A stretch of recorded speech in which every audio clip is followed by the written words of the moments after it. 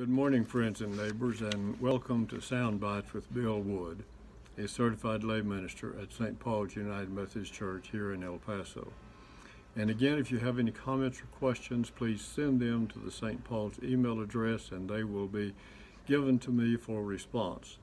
And also, if you have been blessed by these sound bites, send Pastor Amy an email and let her know. She would welcome your comments. So now please join me in prayer, and then I will read verses 11 through 22 of chapter 2 of Ephesians. Heavenly Father, again, I ask that you prepare our hearts and our minds to hear and to meditate on your word, and that these words might resonate within our spirit and cause us to be more inclusive. In Jesus' name we pray. Amen.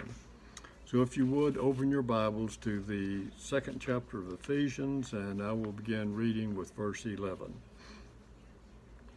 Therefore, remember that formerly you who are Gentiles by birth and called uncircumcised by those who call themselves the circumcision, that done in the body by the hands of men, remember that at that time you were separated, or you were separate from Christ excluded from citizenship in Israel and foreigners to the covenant of the promise, without hope and without God in the world. But now in Christ Jesus, you who once were far away have been brought near through the blood of Christ. For he himself is our peace, who has made the two one and destroyed the barrier, the dividing wall of hostility, by abolishing in his flesh the law with its commandments and regulations. His purpose was to create in himself one new man out of the two, thus making peace, and in this one body to reconcile both of them to God through the cross, by which he put to death their hostility. He came and preached peace to you who were far away, and peace to those who were near. Through for through him we both have access to the Father by one Spirit. Consequently, you are no longer foreigners and aliens, but fellow citizens with God's people and members of God's household, built on the foundation of the apostles and prophets, with Christ Jesus himself as the chief cornerstone. In him, the whole building is joined together and rises to become a holy temple in the Lord and in him you too are being built together to become a dwelling place in which God lives by his Spirit. So Paul in the in verses 11 and 12 is reminding the readers of this letter that they were Gentiles by birth, that is natural birth, and were called uncircumcised by those who call themselves the circumcision, which is something that is done to the body by the hands of men. He also reminds them that at, at, that time they were separated from Christ, excluded from citizenship in Israel, and foreigners to the covenant of promise, without hope and without God. Now, what does mean, Paul mean by this? First of all, I think Paul is reminding them that because they were born outside the nation of Israel, they were not included as a member of God's chosen people. God's chosen people, the Jews, their male children were circumcised on the eighth day after birth, thus signifying that they were Jews. And this was done in accordance with their covenant with God. Because the Gentiles were outside the covenant, they were called the uncircumcised and were hated by the Jews simply because of where they were born. And as a result, there was a barrier between the two, between the Jew and the Gentile. And then, second, Paul is reiterating that the Gentiles were separated from Christ, excluded from citizenship in Israel, and foreigners to the covenant of promise. They were without hope and without God. It has been said that the Jewish people, no matter how bad things seemed to be, that they always had hope. The promise of the coming Messiah. They believed that things would eventually be better. And on the other hand, the Gentiles had no such hope. It was a dismal future for them because they had no promise from their gods that there was even a future.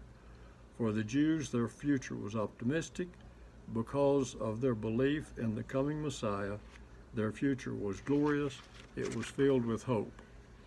Then in verse 13, Paul says, But now in Christ Jesus, you who were once far away have been brought near through the blood of Christ. And Paul is using terms that is very familiar to the Gentiles. The term far away meant that they were never a part of the Jewish nation. And the term have now been brought near could be or were included as members of the nation under certain circumstances. And Paul is saying that through the blood of Christ, at his death and resurrection, and their accepting Christ, they are now included in the body of, of Christ. They're included in his church. They have been brought near. The barrier that separated the Jews and the Gentiles are now broken down, and they have all of the privileges in Christ that Paul spoke about in chapter 1. Then in verse 14 through 18, for he himself is our peace, who has made the two one and has destroyed the barrier, the dividing wall of hostility, by abolishing in his flesh the law with its commandment and regulations.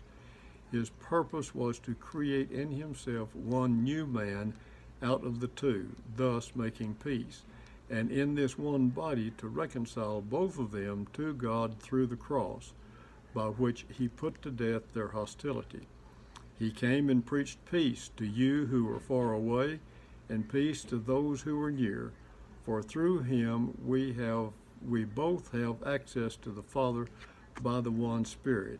And so there in verse 17 where it says he came and preached peace to you who were far away and peace to those who were near, that through Paul's preaching of the gospel to the Gentiles, they were once far away, but they now have been brought near.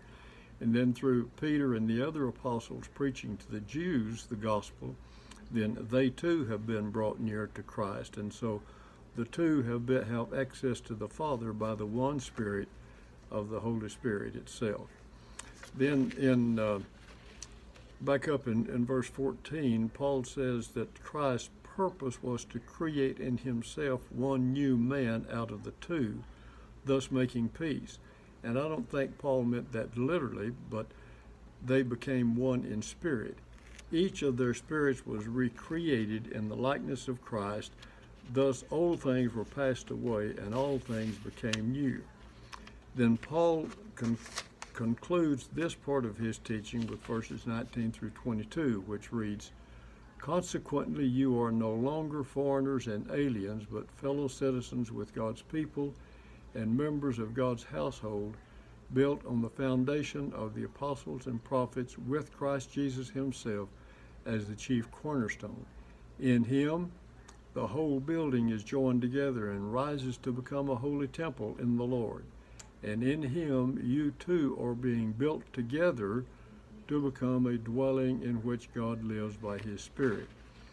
So, uh, I believe that in these verses, Paul means the same to us today as he did to the people back then. We are all members of the body of Christ, having accepted Christ as our Lord and Savior.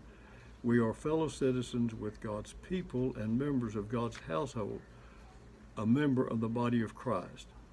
And if you have never accepted Christ as your personal Lord and Savior, then you're not included in this body of Christ. So it would be very easy to remedy that simply by praying this prayer.